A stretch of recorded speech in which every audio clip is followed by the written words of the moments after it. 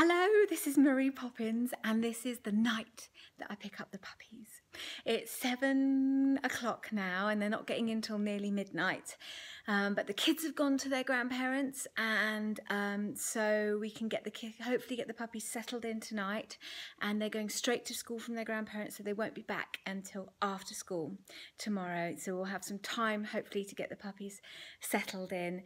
Uh, we've got the pen ready for them now there it is with puppy pads and so on and their crate they're coming in we're going to use as their sleeping quarters.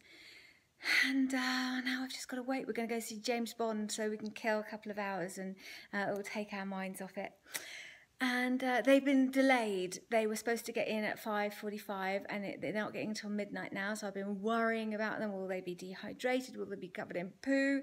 Will they be all right? Will they be safe? You know, all of that stuff has been stressing. I've been following the flights. They've taken three flights and I've been following each one to make sure it's on time and all that kind of thing. And so far, so good. They've got one more to catch now. And um, that's it. So we're off to the airport soon. I'll keep you posted. I'm Mary Poppins. Speak to you later. Bye. Can you say uh, yeah, and, Hello, guys. She just came from Germany. I'm going to get you out as soon as possible. I'm just going to sign it. I know. I know. Here we go. Call the number or else come during the day when John and them could do it. John? Okay, okay. I'm just going to get your daddy. Yes, I am.